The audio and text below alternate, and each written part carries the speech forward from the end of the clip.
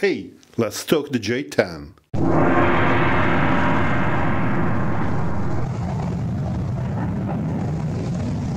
So, since the J 10 is expected to cover a multi role spot, it has been integrated with several Chinese weapons. Overall, it has a rather complete panoply of weapons available either air to air or air to ground. However, we have to consider that the Chinese still use a good percentage of unguided weapons like the Russians, of which the aircraft can carry about 5600 kilos. But I'm running ahead of me. Let's start from the beginning. This is the third episode of the series about the J10, and if you want to start from number one, link above and below.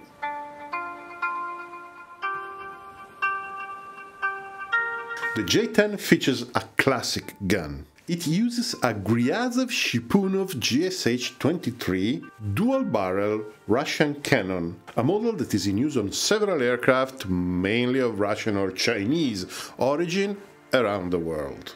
It is a 23mm weapon with a rate of fire of about 3,400 uh, rounds per second and a muzzle velocity of 715 meters per second. And no, the dual barrel configuration is not just an additional barrel, it's a specific technology. In fact, the recoil of one barrel actually chambers the other barrel and sets it ready for fire. The weapon doesn't need any electrical actuation to start the firing cycle. It is entirely mechanical and very, very reliable. It's true, it has half the rate of the American Gatlings, but it starts the firing cycle faster. The round is heavier and with more explosive mass. This cannon is not new at all. It was designed in the 60s, but it is still in use. We have to say that the fuse of the rounds that were fired by the first series of the weapon were not really uh, reliable, but that problem is long gone.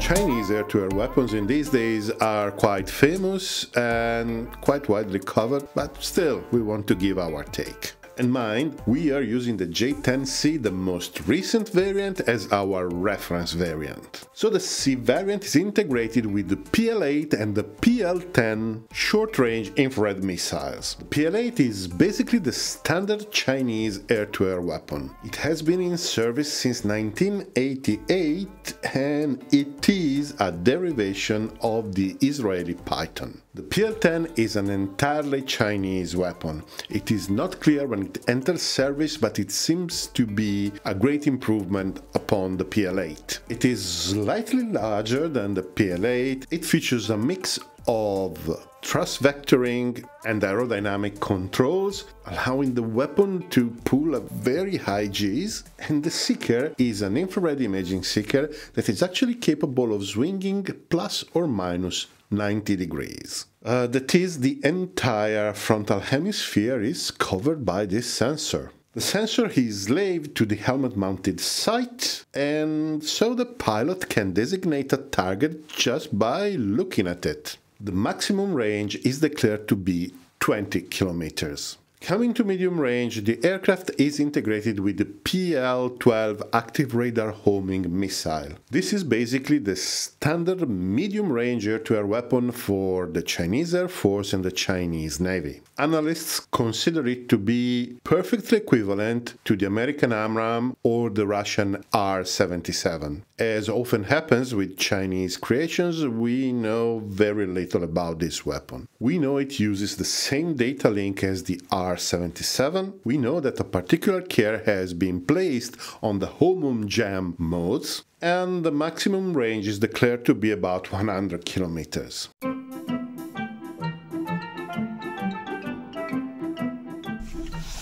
Mind, when we talk about missile ranges, we should always exert caution because the declared range is usually the maximum ballistic range for the missile, and even that may not also be true. The actual distance at which missile can reach a target is extremely variable. It depends from the relative speeds between the launcher and the target, and also extremely important is the relative direction between the two. If they are approaching head on, the missile range is actually maximized, but if one is chasing the other, the range could be easily 10%, 15% of the maximum declared range. So don't take these numbers too seriously.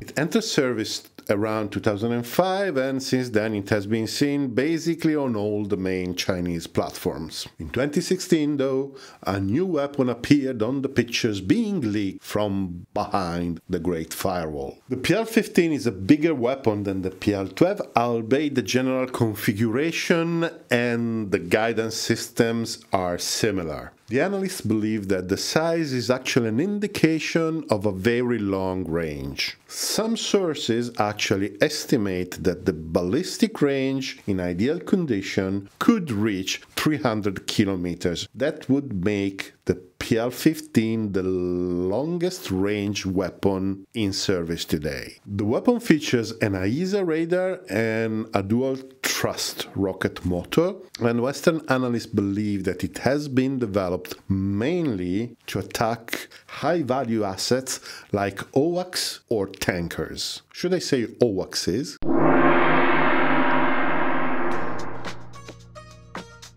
Chinese air to ground weaponry is less known but is definitely worth consideration. So, air to air is an area where China is believed to have reached substantial parity with the West, but air to ground weaponry is less known. So, as we said before, the aircraft is still often seen with iron bombs and unguided rockets. The latter in particular seem to be object of quite a lot of attention during training. We have to remember that the Air Force in China is actually a branch of the army. Till the end of the 20th century, air to air was sort of an afterthought, or, well, maybe it was definitely given less consideration than air to ground. Missions like close air support or ground attack were considered the real priority. So a lot of attention was given and is still given to the, those kind of weapons that can deliver a large amount of firepower on the ground.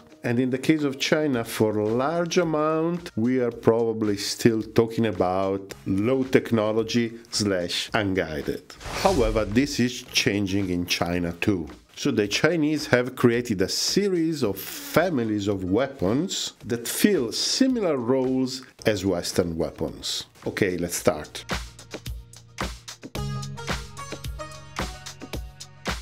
One of the most common Chinese guided weapons are the bomb kits of the LTPGB family. These systems have a close resemblance with the American Paveway. In fact, the first generation was derived by captured Paveway 1 laser designation pods captured by the Vietnamese during the Vietnam War. The first generation was actually a cheap copy and was not considered adequate, so it never entered service. But the following generation, the LT2, actually did enter service because it was a cheap, reliable, and effective weapon that is still in use today and it is probably the most common of all the Chinese guided weapons. There is a third generation, which is the LT3, which is not a copy, but is definitely similar in design to the American Paveway 3, but is seen in uh, smaller numbers because apparently it is more expensive and complex than the simple LT2. Together with the laser guided LT family, I think you will not be surprised to learn that exists a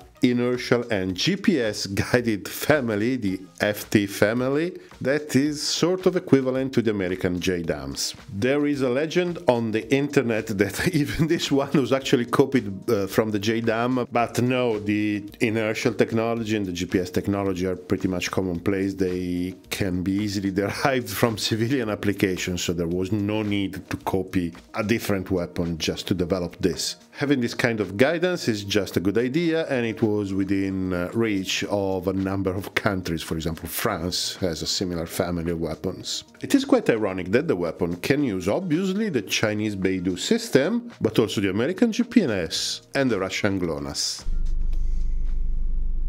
Yes, because the casual observer may not know that the most used uh, positioning system in the world is not the American GPS, there are at least three others. There is the European Galileo, which is actually a civilian service, the Russian GLONASS, and the Chinese Beidou, which is considered to be the most precise. The Beidou system had sort of a rough start. The Chinese had to go through three iterations, but in 2020 the constellation of 55 satellites has been completed and pretty much the whole of the globe is now covered by this system. I wouldn't be surprised if the phone that I'm using to record this is actually calculating its position using Beidou rather than GPS. And for those who are surprised that a weapon can use more than one system, even potentially opponent systems, well, this is a technology that is commonplace. Most civilian receivers use more than one system. More modern than LT and FT families, there is the LS family, and in particular, the aircraft has been seen with the LS 6 gliding bomb. So the LS6 is basically just another family of kits that can be installed on an iron bomb. It comes as a normal kit or as a gliding kit. And the gliding kit is such that with an ideal release at high speed and high altitude, it can reach above 60 kilometers of distance, which makes the weapon sort of a standoff weapon. The peculiarity of the LS family is that it combines the LT and FT guidance systems in just one package. So it can be laser guided, it can use the inertial guidance, or it can use a positioning system to direct itself toward the target. Obviously, the advantage is that the weapon can attack either moving targets or fixed targets. In the first case, it will require laser designation and guidance. In the second case, it will use the inertial guidance or GPS. Apparently, they're also developing an infrared guided version, so they're investing big time on this family.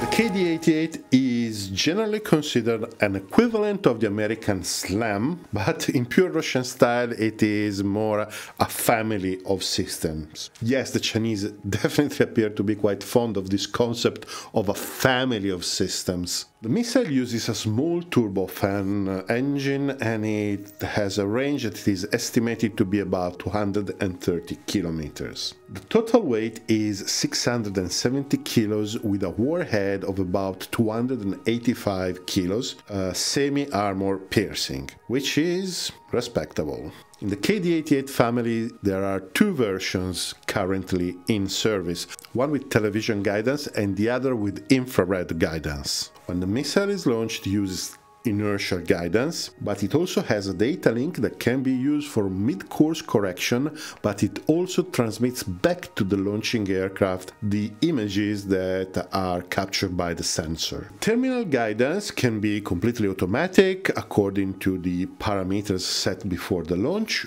or it can still be executed by a human, which can choose the target at the very last second, giving the weapon a good flexibility. However, a drawback of this missile is the fact that the launching aircraft must carry a relatively bulky external communications pod guide the weapon. The J-10 has been seen carrying two KD-88. And since the Chinese love this concept of weapon families, uh, there are news of a radar-guided variant and suppression of air defense variants, so a radar homing variant currently in development. The YJ91 is another typical Chinese story, because at first sight it may seem another copy of a Russian weapon, the KH-31, but in truth it is not. Yes, the KH-31 is produced in China under an official license. The YJ-91 features substantial differences. In fact, the Chinese use it as a radar homing missile with a range of about 100 kilometers and a speed of Mach 3.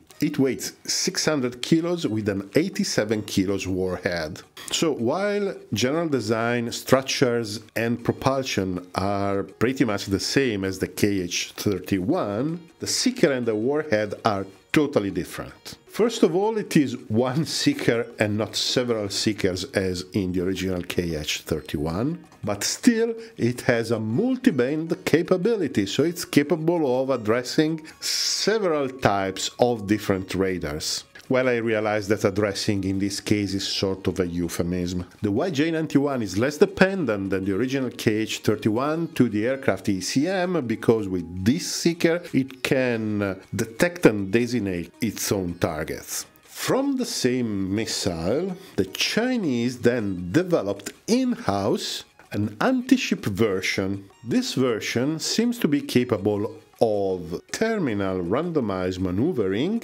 and considering that the speed of the weapon is about Mach 3, a missile like this is more than a match for many point defense systems. So, as you can see, in terms of armament and weaponry, the J-10C seems to be perfectly aligned with other fighters of its own generation. And if you want to understand which are these other fighters that the J10 is up against, I would suggest you to watch part 1 of this series that is going to appear beside me, together with some other interesting videos about China and Chinese Air Force. So, thank you very much for watching and see you there.